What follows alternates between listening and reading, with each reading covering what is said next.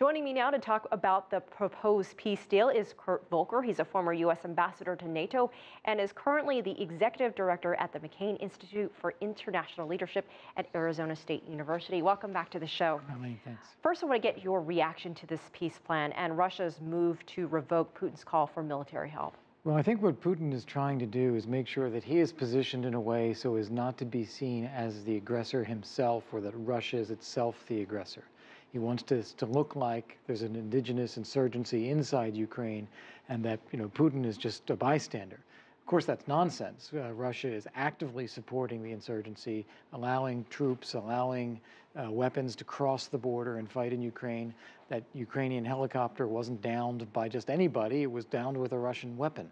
So Putin is trying to back off a little bit on the appearances on the expectation that if Poroshenko and Ukrainian forces try to clamp down, then he'll say, well, I have no choice. I just have to respond again to this. So saying one thing, doing another. Um, U.S. Secretary of State John Kerry mentioned that more sanctions could be on the table. This is something that's been talked about for a right. long time now. So what would that look like at this point? Well, there is something that people refer to as phase three sanctions, which is to take a broader swath of sanctions against state-owned enterprises and whole sectors of the Russian economy, particularly the energy sector. It is something that European governments have been very reluctant to do, and frankly, the United States has been reluctant to do, or at least do alone. Uh, so we've been trying to work with the Europeans to build up a list of additional sanctions. But unfortunately, what we keep hearing is that if Russia persists, then we'll do new sanctions. Or if Russia takes some new step, then we'll do new sanctions.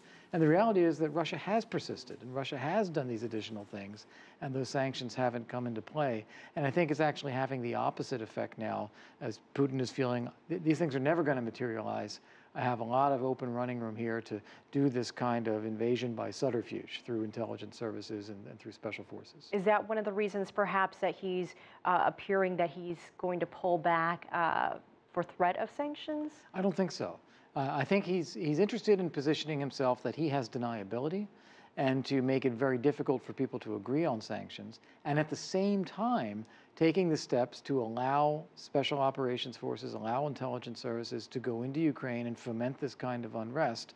He can have deniability and then still be disrupting Ukraine at the same time. Let's touch on this ceasefire that uh, supposedly was put in place uh, last week, and now we're a few days in. There's still a lot of violence. Do you think at least uh, things are starting to progress toward peace, or, or is this situation not any better off than it was months ago? It's really not any better off, in my view. Um, what you have is the Ukrainian government is, is trying very hard to figure out the right strategy. How do you control your own territory as a country, as a sovereign country, and avoid violent incidents while there are well-armed violent insurgents in that country now?